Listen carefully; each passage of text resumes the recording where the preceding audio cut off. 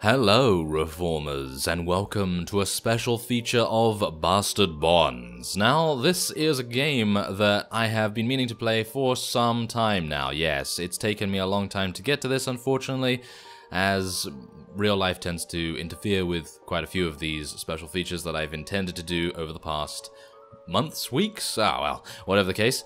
We are a prisoner, and we have to try and escape. Now, that sounds like a very very simple premise, but it gets it gets uh, a lot more in depth and a lot better as we start a new character. You will see why I say that. The door creaks open, and a guard takes you by the arm. Expressionless, he takes you into a dim courtroom and leads you up to a podium, where you stand alone before a row of white wigs and black robes. A hush falls over the assembly, and the judge speaks, Take record of the defendant's likeness for the court archives. This is where we get to make our character. So as you can see, there are a huge amount of different body types here. You can create any one you so desire. You could be an orc, you can be a woman, and you can be a man, because, yeah, that's, that's all we have. So we're going to be a big guy. Yes, we're going to be a big guy, and we're going to have a beard, and, oh, yes, uh, hmm, yes, let's, let's go for blue? No. Let's go for... Oh, wow. Okay, so he can be very, very... Okay, let's let's give him some robes here. And... Okay, I don't even know. I'm just adding random things. Let's let's give him one sleeve, because having two is just not fashionable. So, yes, let's do that, and... Let's give him some of those. That sounds good to me. And let's give him a different color, shall we? Let's let's let's have hmm well, ooh, purple actually looks pretty good. Okay, wait. Let's remove some of this. There we go. Okay, so I would like that and this. Oh, that's looking pretty cool. Yeah, so as you can tell, you can actually get layering. So your outfit can have layers, which of course is is always a good idea. And we're going to be... Hmm, let's see. Let's give him a purple beard as well, because we have to accessorize. So, let's go for that. That looks pretty good to me. Yes. There we are. And maybe a hood. Yes. There we go. Okay, so that that is what we will do. And then we can proceed with the trial. State your name for the court. And now we can decide a name. So I can apparently oh, I can delete that. So I'm gonna I'm gonna call myself reformist because well that, that seems to be kind of fitting for this kind of game. So we're gonna we're gonna go with that, yes. Reformers, you stand accused before the court. Know, know you the charges brought against you?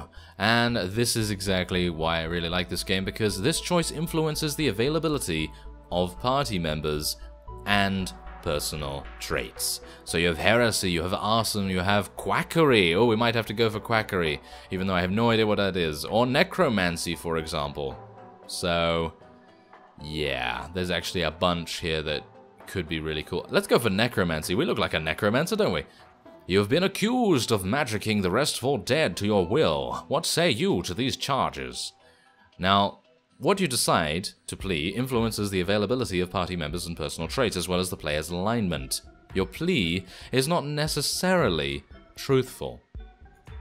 I am actually going to say that I have committed necromancy because who in their right mind would not think that the guy in the purple robes is a necromancer? I don't know. Tell the court I have committed necromancy. Your admission of guilt is commendable, and the court will consider this in your judgment. Oh, well, that's good. Reformist, the court has deliberated upon your fate. There is no salvation for you in this world. You shall be blinded, your tongue cut, and your sin purged in holy flame. You are hereby stripped of your citizenship and judged guilty. You shall be branded with your crime and interned at the stocks of Lukatt to await the execution of your sentence. May God have mercy upon your soul. So we are we are apparently not having those things done to us just yet. Thank goodness. You are taken back to your cell where you are held down by several guards as your neck is burned with hot iron. You are forever branded a necromancer. I don't really mind that. We're wearing a hood. Yes. Over the next few days, you are taken by boat to the island of Lukatt.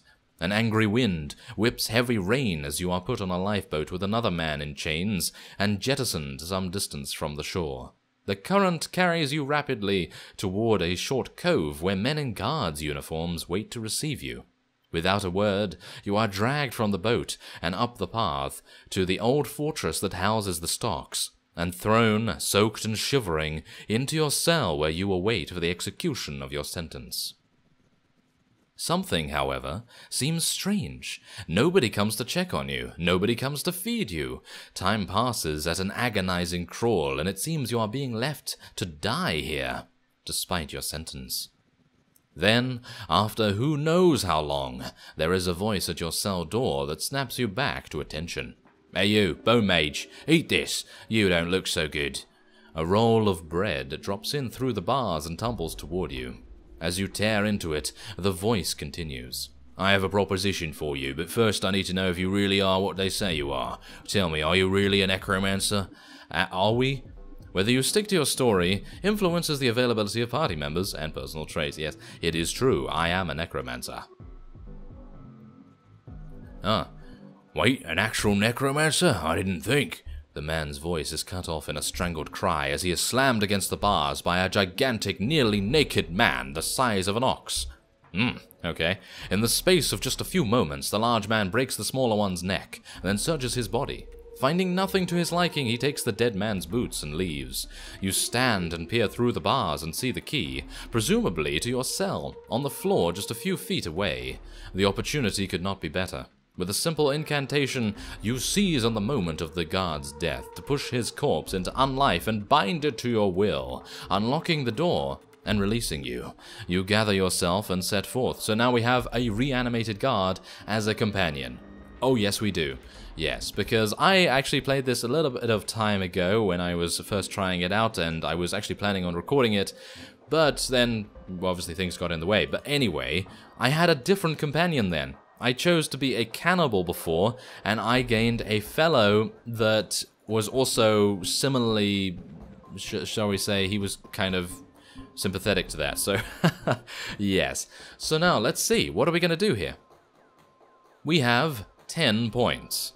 So we can spend them on anything we desire. So this is the attack tree, this is the defense tree, and this is the utility tree. So as you can see here, Weave, in the utility tree, is used to perform magical or academic tasks. Requires the skill of Ritualist to attempt. Improving Weave grants 2 HP. Now, Blast. Blast spells attack from range and apply status effects to both enemies and allies. Improving Blast grants 2 HP. So we're going to be improving this somewhat. Let's get that a little bit, and we're going to get some of this too. And I think we're going to get this as well, because ward spells heal and invigorate allies, and we have a reanimated guard, so I think it would be a good idea to get one of those, wouldn't it? So let's just improve our blast a little bit more, and there we go. So that's going to be our stat right now. You can cast the spell Arcus when enemies are outside of weapon range. Arcus can be influenced by the manner of equipped weapons. Now, of course, I haven't done anything else, but you can, if you so desire, go with Guile, for example. Now, Thwart is used to perform tasks requiring dexterity and improvisation, and improves combat initiative. It also, I believe, affects the amount of lock picking skill that you're able to use. So yes, as we can see here, the recommendation, this zombie is not very sturdy or very useful, but it will have to do. Recommendation, any combination of abilities will complement the zombie, but guard and ward skills will give you more survivability. So if we want to, we can go with that recommendation and guard and ward skills. So there's guard. Guard reduces incoming damage and makes enemy attacks less effective. But we're going to go for ward because I would like to get the first skill in that tree. So let's do that. As you can see, it's a healing aura. You and adjacent allies regenerate some hit points whenever you gain the defense status, which is actually kind of cool, in my opinion. Yeah, okay. So otherwise, I think I'm just going to go for some blast just to improve our damage a little bit and Weave one. There we go. Okay, I don't know whether this is any good. Do bear that in mind. I haven't played a Necromancer before, so we're going to find out. Escape from your cell. The reanimated guard stands ready to defend you as you make your escape. This choice determines your character's personality type. This affects in-game banter, as well as the dialogue your character will use when appearing in other users' games.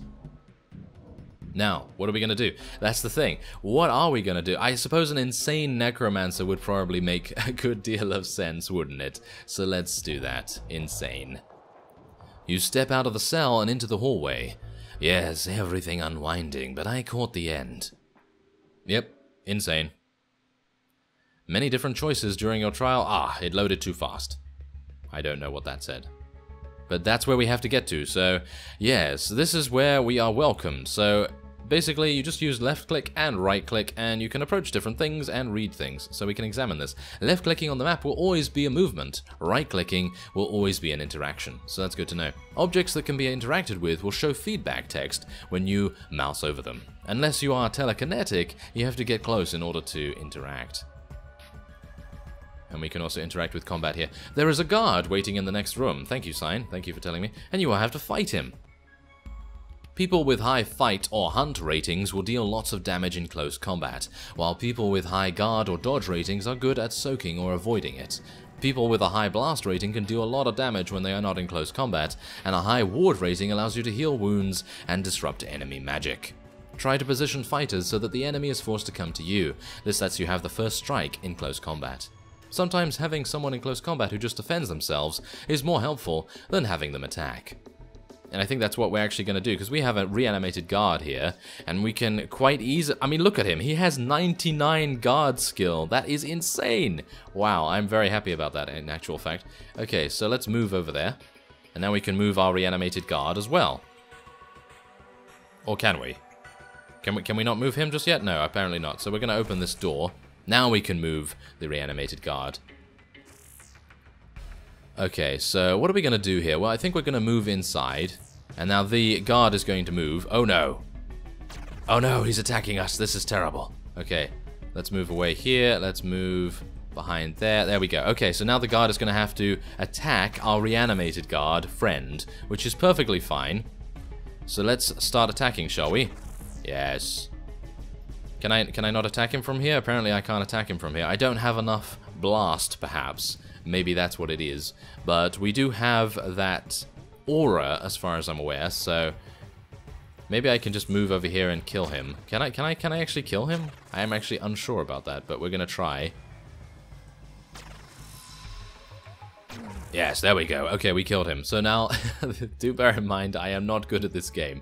So, yes, there is going to be quite some problems going on here. Oh, what's that? That's a sandwich. A soggy sandwich, in actual fact. Let's take it. I would like to eat it already. Can I, can I do that? Yes. There we go. Okay, so now we're back to 45 HP, exactly where we need to be. So let's open this up. Anything else in here? No. But we can open these doors up and we can take a look around. Doesn't seem to be anything. That's kind of sad. Okay, so Ah, there's a lock here. Okay. Needs an ordinary key. You have none. Of course we know. We don't have any of those. That's pretty sad. But there's another door over here which we can open. And we can head onward. There's another door here. Tick tock, tick tock. Yes, of course. Thank you very much, insane reformist. Okay. Is there any is there any other door here? I think there is. Yes, there is another place, but it doesn't actually lead us anywhere, so I suppose I can just walk around there. There we go. So what does this sign actually do? Give your party members a chance to evaluate their surroundings by holding skill, uh, still, not skill. Your party members will find the key to this door if you let them. Press the R key or the spy glass button on the left side of the screen to show you items that may be loose on the floor. The guard dropped a sandwich. If you haven't already, pick it up and put it in an inventory slot by right-clicking on it and then clicking a slot. If someone was injured in the fight with that guard, select that person with the tab key or number keys 1 to 4, and then right click and hold to eat that sandwich. Food is reasonably plentiful and cannot be used in combat, so use it to keep your health topped up. That is very nice. So we're gonna just hold still for a second here, see if we can actually see something. Ah, there seems to be something going on on... Ah, there's a key! Yes, a small iron key has been left on the table here, thank you very much. This kind of key is generic and will fit any door that requires a normal key. So I'm going to be opening this here. There we go. Okay, so we have a we have a guard over there, and we are going to be moving on over here. Thank you very much. I'm going to just move there. There we go. Okay, so we are just going to wait until that guard comes here, and then we're going to... What are we going to do? I think we'll just go defense. Can I actually attack him, though?